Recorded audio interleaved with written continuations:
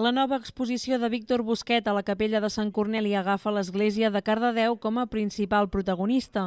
Busquet ha fet una selecció del seu fons personal per mostrar l'incertesa de l'església durant els 25 anys entre 1930 i 1955. Eh, hi, ha, la república, eh, comencen a haver-hi coses eh, més o menys estranyes, comença la, la guerra, ve el 36, que allò ja és la, el, el desmadre total, i, i arriba doncs, un any clau, no? 1939, eh, algun va dir eh, ocupació, els altres en van dir alliberament, i, i tots sabem què volia dir.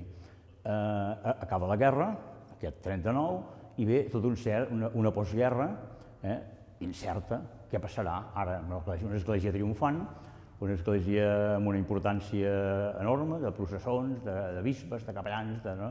eh, què, què és això? És la mateixa església d'abans?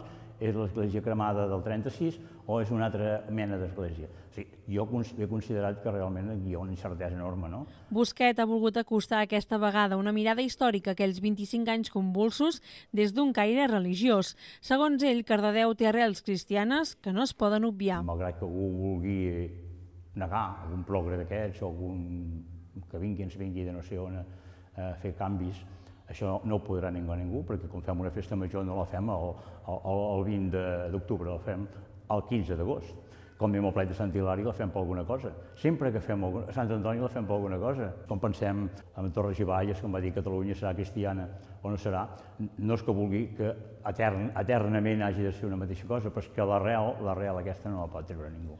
El recull de documents entre els que s'hi troba fotografies de l'església enmig del foc o els gots de Sant Hilari pretenen descobrir dades de la història local també generar converses disteses i debats entre els qui van viure aquells dies, però sobretot destacar esdeveniments que molts desconeixen.